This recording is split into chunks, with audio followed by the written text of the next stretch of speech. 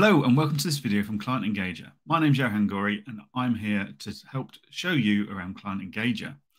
In this video, we're going to have a look at where to start. When you first log in, what you need to do to get Client Engager ready for you and your business. So let's have a look at how we do this. So here we are in Client Engager. This is our demo account, so we can't see anything too critically important with information and stuff. But this is the screen you're going to be greeted with when you first log in.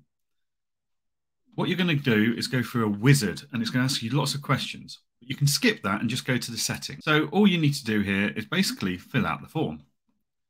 So first of all, you put your firm name, the name you want any text messages to come from. So it might be A&A Accountants or it might be Fred from A&A Accountants. It's entirely up to you. Put your company house number and this will be included in the document footer.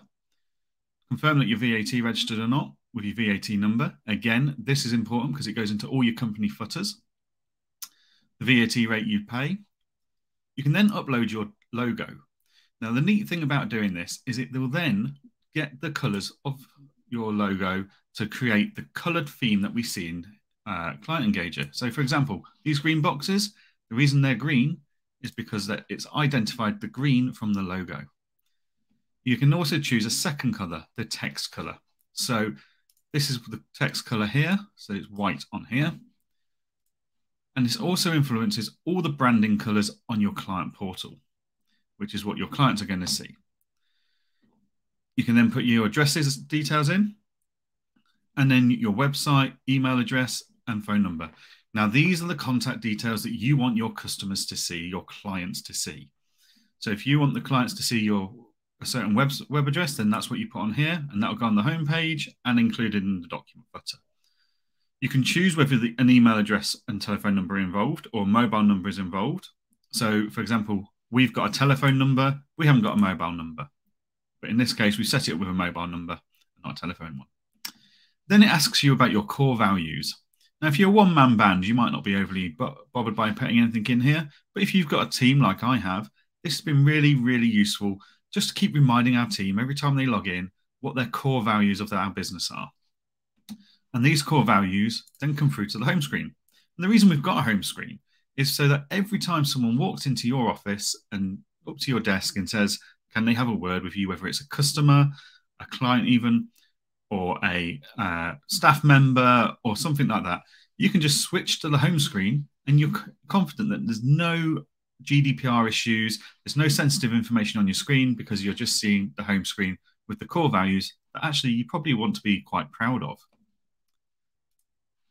Once you filled out these settings, you then asked about how your company's structured. So we know some companies have got an owner, some companies have got directors because they're limited companies, and some have got partners. And this helps the terminology in the letter of engagement. Country of origin, again, this is really important to determine the letter of engagement information, as is the currency, because that's going to be dotted all over the place. And your professional body. So you can choose from not provided, any of these through to HMRC if they're who your AML provider is. You can also opt in or out of receiving offers from client engager partners. Partners such as Armalytics, Cresco, QuickBooks, soon to be Timworks, and soon to be Exama as well. So that's the main settings page. The next job you want to do is make sure your default terms and conditions are right for your business. So we set the principal person, the main director, you can select them from your staff list. You can select managers from your staff list. And to do that, we just add our system users on here. And by setting these, this is helping to all the defaults and also populate key parts of information on the letter of engagement, your data policy, etc. You need to come in and determine what softwares are going to have access to your data. This is basically to complete the data and the privacy notice within your letter of engagement. So Client Engager will populate it with a GDPR solicitor's approved letter, and we just need to state which softwares you use in your practice so that it can be added.